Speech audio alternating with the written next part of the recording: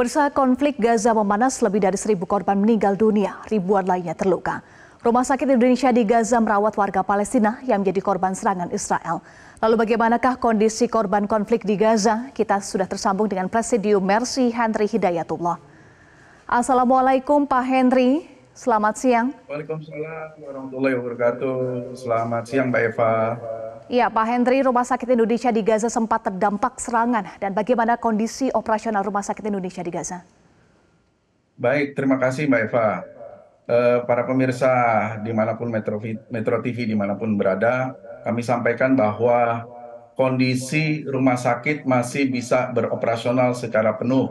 Meskipun kemarin sempat ada gangguan pada jalur distribusi oksigen yang terkena dampak uh, serangan bom.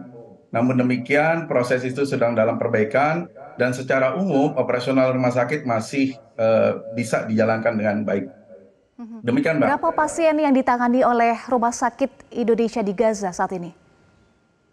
Uh, umumnya adalah korban luka-luka. Jadi sampai sejauh ini Rumah Sakit Indonesia di Gaza sudah menerima lebih dari 400 uh, eh, korban luka-luka, di mana di antaranya 93 dirawat inap dan uh, 66 uh, 66 lainnya adalah dalam kondisi syahid, dalam kondisi meninggal dunia.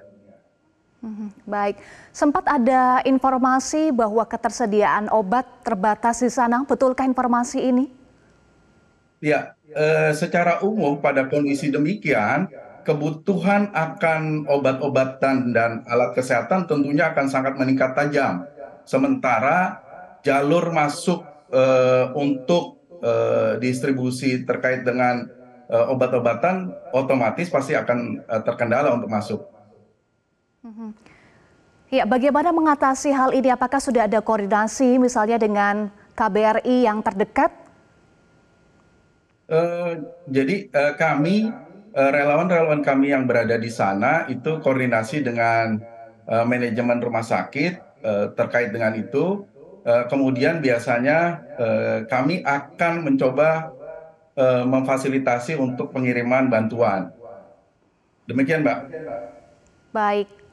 Kapan kepastian untuk ketersediaan obat dan juga kebutuhan-kebutuhan rumah sakit lainnya bisa dipenuhi mengingat jumlah korban yang dirawat di Rumah Sakit Indonesia di Gaza terus meningkat. Ya, masih dalam tahap koordinasi, Mbak. Uh, untuk uh, saat ini informasi yang kami terima secara detail belum belum kami terima. Namun demikian kami uh, terus untuk berkoordinasi akan hal itu. Mhm. Pak Henry, sebelumnya ada informasi relawan Mercy di Rumah Sakit Indonesia di Gaza mengalami luka-luka. Bagaimana kondisinya saat ini? Iya, jadi kalau untuk uh, relawan kami yang berada di sana itu ada tiga orang, di mana mereka uh, semuanya non medis uh, dalam rangka untuk memfasilitasi hubungan terkait dengan manajemen rumah sakit dan kepada kami. Mereka sendiri, alhamdulillah sampai saat ini dalam kondisi sehat walafiat. Mohon doa dari masyarakat Indonesia.